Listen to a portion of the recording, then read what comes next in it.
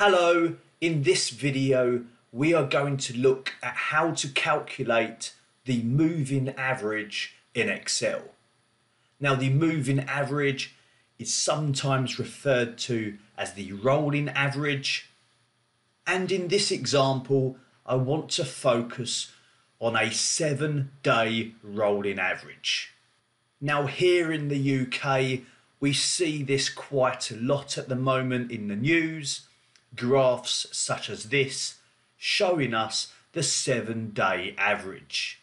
Now for this tutorial I have the vaccination data on screen from the 10th of January this year to the 22nd of January as used in that graph.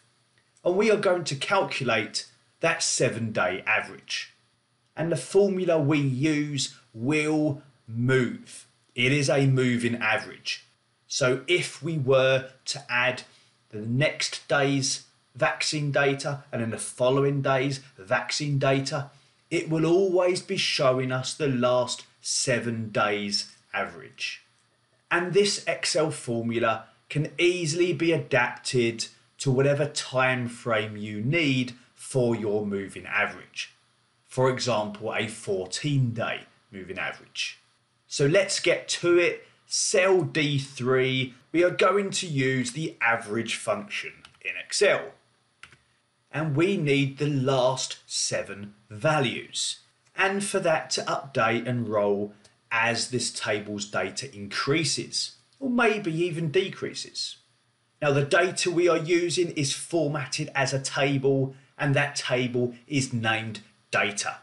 So we're going to use table references in this formula now, there's a few approaches to get this dynamic last seven values, but possibly the easiest approach is to use a function named offset.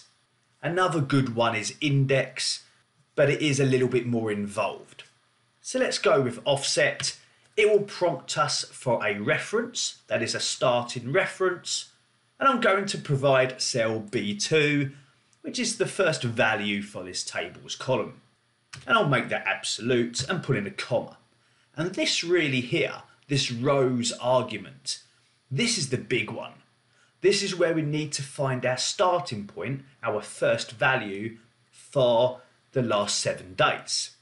So I'm going to use the rows function of Excel and I'm going to feed that the data table to ask how many rows are in that table we can see there's 13 rows. Once we've calculated that, we will subtract 7 from that value. Continuing with this function, the next argument is columns, and we do not want to move any columns. We're staying in column B as indicated by our starting reference.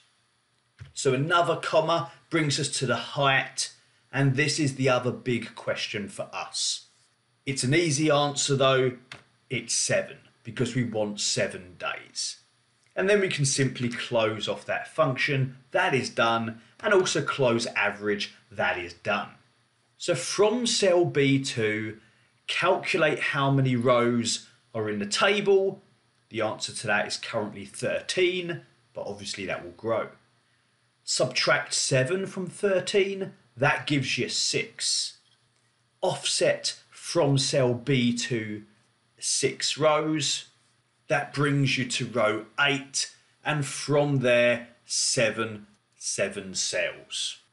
And then that is fed to the average function to provide our answer of 328882 if we hide those decimals and round that up.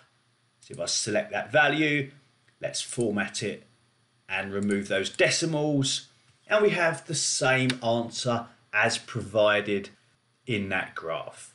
So that is our seven day moving average.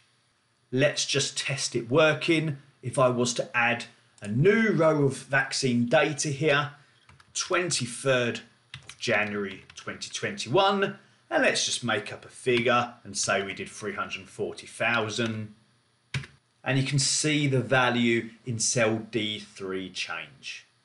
It's now working from row 9 to the bottom, the last 7.